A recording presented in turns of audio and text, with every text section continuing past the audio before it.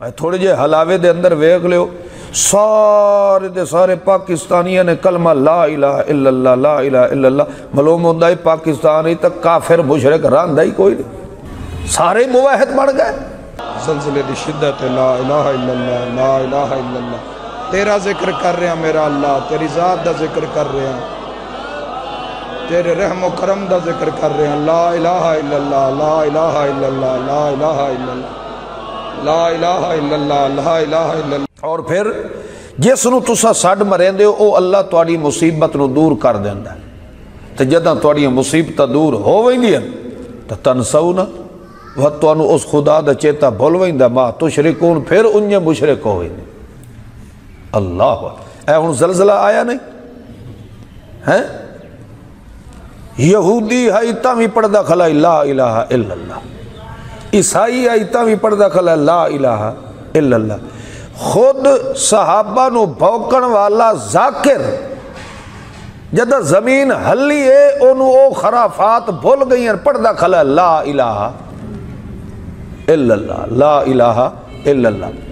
ਤੇ ਜਿਹੜੇ ਮੁਸ਼ਕਲ ਕੁਸ਼ਾ ਗੈਰੁੱਲਾ ਨੂੰ ਆਦੇ ਹਨ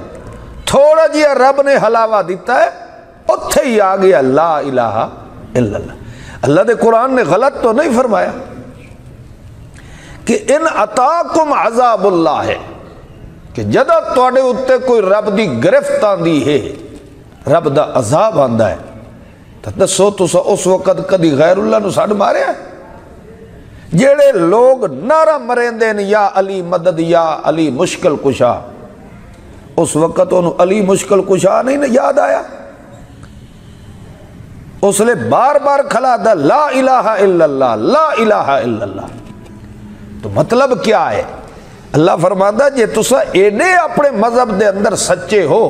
तो मैं रब इन थोड़ा जिहा हलावा देना तो सारे अपने मुश्किल कुशा बोल वही दे उस वक्त तो याद रहा तो एक अल्लाह याद रहा थोड़े जे हलावे दे अंदर वेख लियो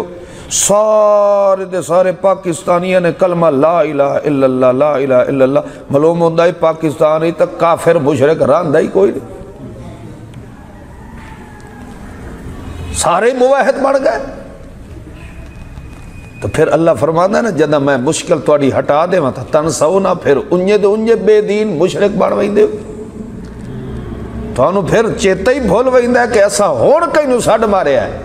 ਜਿਸ ਨੂੰ ਛੱਡ ਮਾਰਨ ਨਾਲ ਸਾਡੀ ਮੁਸ਼ਕਿਲ ਰੱਬ ਨੇ ਹੱਲ ਫਰਮਾਈ ਹੈ ਮਗਰ ਜੋ ਹੀ ਉਹ ਮੁਸੀਬਤ ਟਲਦੀ ਹੈ ਫਿਰ ਉੰਨੇ ਦਾ ਉੰਨੇ ਉਹ ਕਾਫਰ ਤੇ ਮੁਸ਼ਰਕ ਬਣਿਆ ਖਲੋਤਾ ਹੁੰਦਾ